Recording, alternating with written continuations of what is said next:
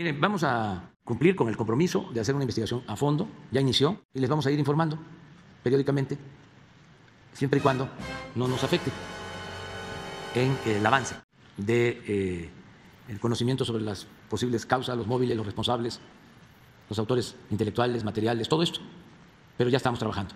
Y sobre lo otro, yo quisiera pues decir que no hay impunidad, pero que al mismo tiempo no eh, hagamos politiquería en un asunto tan serio. Bueno, es que ella misma lo señal- señalaba Jaime Bonilla, por eso nos llama la atención. todos van a ser investigados los que considere la autoridad. No hay impunidad. Y este, no adelantarnos. O sea, no hacer juicios sumarios.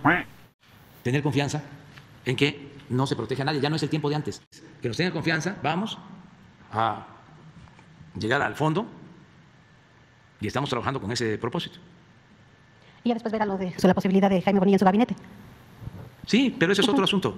¿Por qué ahora hablar de eso? Es como el caso de el historiador Pedro Salmerón, que este, manda una carta, dice la canciller de Panamá, a la Cancillería de México.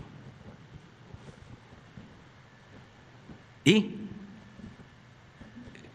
ya entonces van a haber eh, tribunales como los de la Inquisición, nada más, porque hay denuncias este, de sectores, si no se actúa de conformidad con la ley,